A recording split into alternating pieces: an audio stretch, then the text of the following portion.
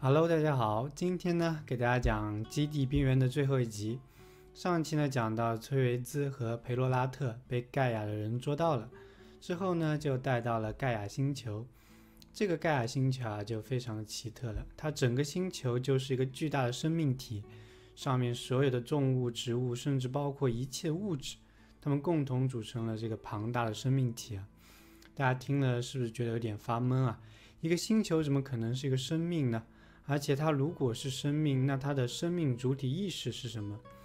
这都很难去界定啊。其实这个盖亚假说啊，也不是作者首创的，最早呢是由一个叫做詹姆斯·洛夫洛克的英国气象学家提出的，而且呢也不是打算给写小说的人提供素材啊，主要是想让人注意到环境保护的问题。现代人类对地球环境的破坏非常严重，提出这么一个盖亚假说呢？可以告诉大家，我们只是地球上的众多物种的其中之一而已。那所有的物质呢，共同组成了地球这个生命。也为了让地球这个大生命更加的健康呢，我们必须好好的保护环境，认真的对待其他物种。那这些呢，就是盖亚假说的一些背景。那接着讲啊，宝奇斯呢，他就把崔维兹和培洛拉特带去见了杜姆。这时候，崔维兹非常奇怪，他就质疑这个宝奇斯。说：“你们盖亚人不是个整体吗？那为什么需要特定的人来进行交涉呢？”那宝奇斯就回答他说：“虽然我们是一个整体啊，但是分工是不一样的。根据能力和意识的不同，占据整体盖亚的意识的多少呢也不一样。这个杜姆呢，就是这个星球上占据意识最多的一个单独个体。”崔维兹见到杜姆之后啊，发现这个杜姆非常的友善，带他们去参观了一个叫做融汇镜的东西。这个融汇镜啊，非常的神奇。你把眼睛呢贴在它上面，它就可以把你的意识融汇到你看到的东西上面，去感受你看到东西的内心波动。所以透过这个工具啊，就可以对一些物质做出一些原子级的调整，这是非常高精尖的工具了。那然后呢，杜姆就跟这个崔维兹讲了这个盖亚的由来。一开始呢，整个银河系啊，只有地球拥有智慧生命。然后呢，因为这个人类嘛越来越懒，就发明了机器人来做各种工作，并且由他们来照顾人类。一开始啊，大家觉得哎非常好，什么都不用干，整天吃喝玩乐就可以了。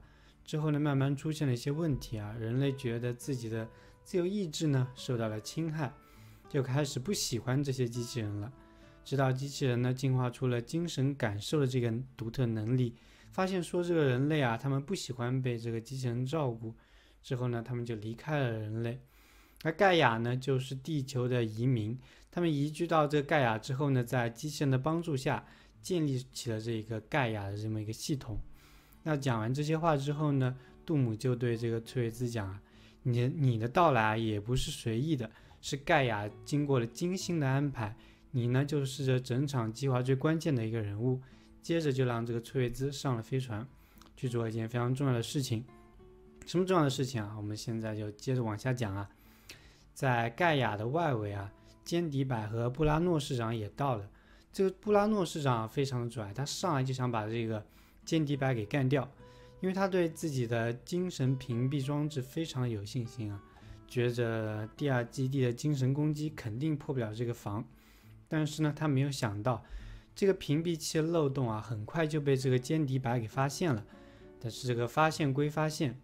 坚迪柏要攻破它呢，也是得付出非常大的代价。何况前面呢还有一个盖亚，干嘛这么早就拼个你死我活呢？坚迪柏就想跟对方谈判，结果这个时候啊，薇拉的这个心灵复杂度暴涨，他也加入了战斗，双方三方啊就陷入了这个僵持。其实这个薇拉他也是盖亚的人，他的任务呢就是专门派出去引诱这个坚迪柏过来的。那现在这个三方呢都陷入了僵持。崔维兹呢也就到了，边上的宝奇斯就告诉他说：“现在有三种类型的银河帝国，让他选一种。第一种呢是由第一基地靠强大的武力为支持，强行征服周围的世界，但是呢会发生各种各样的战乱跟争端，仇恨不断啊，就像第一银河帝国的翻版。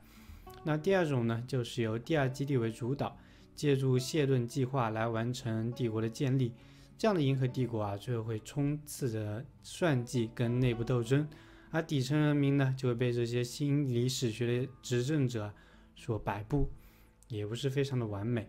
那最后呢，就是选择盖亚模式，并推广到整个银河系。那这样的话呢，最后单独的个体人类啊就会慢慢的消失，整个银河系最后变为一个生命体。而这个选择的任务呢，就交给了崔维兹，因为盖亚也不知道选哪个比较好啊。他，但他本着为整个银河系着想的这个理念呢，他找到了崔维兹。这个崔维兹啊，有个特殊的本领。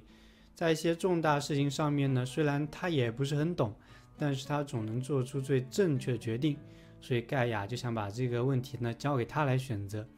这个其实啊也非常的难，你想想看，第一击的做法呢虽然是最野蛮，也是最不长久的，但是呢在最大程度上保持了一个人作为一个单独个体的尊严，也不会因为这个算计而让这个世界变得过度的单调乏味。